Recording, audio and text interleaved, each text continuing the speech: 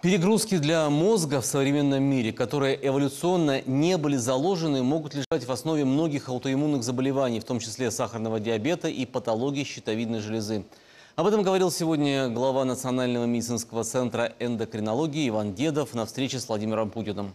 Академик поделился с президентом последними научными разработками наших исследователей, рассказал, что больше всего пациентов с сахарным диабетом в Финляндии и изложил теорию, почему вымерли неандертальцы.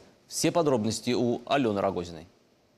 Передовые методы лечения сахарного диабета – ключевая тема встречи президента с академиком Дедовым. Главный эндокринолог страны, он добился выдающихся результатов по тому направлению, которому посвятил всю жизнь. Иван Иванович Дедов – основатель Национального медицинского исследовательского центра эндокринологии. Мы с вами давно уже договаривались увидеться, чтобы вы смогли рассказать о работе центра. Я пришел действительно, так сказать, порадовать вас и порадоваться вместе. Недавно конгресс состоялся, международный конгресс. Не только сахарный диабет, а все были эндокринопатии. И впервые в мировой литературе мы обосновали принципиально новую теорию развития аутоиммунных заболеваний. Конгресс – это более трех тысяч участников, не считая интернет-аудитории. Ведущие мировые эксперты не только в области эндокринологии, но и в других сферах – кардиологии, терапии, генетики, педиатрии. Большинство заболеваний в эндокринологии хронические, наследственные, в том числе орфанные. Развивать в стране эндокринологическую службу – одна из ключевых задач Национального исследовательского центра. Врачами здесь наработан уникальный опыт в помповой инсулинотерапии. Это когда вместо инъекции микрокапельница управляется со смартфона. Подходит даже к грудничкам. Фантастический, конечно, шаг в это время. Ребята имеют сенсор под кожей, который каждую секунду на смартфон посылает родителям, кого угодно.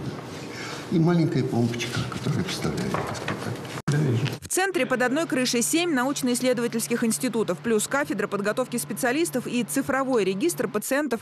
Искусственный интеллект помогает врачам в анализе огромного количества данных. Клеточная лаборатория – это такой исследовательский центр, наработки которого будут буквально применимы в клинической медицине будущего. Математическое моделирование заболеваний для изучения механизмов или для поиска лекарственных средств – одна из ключевых задач современной исследовательской медицины.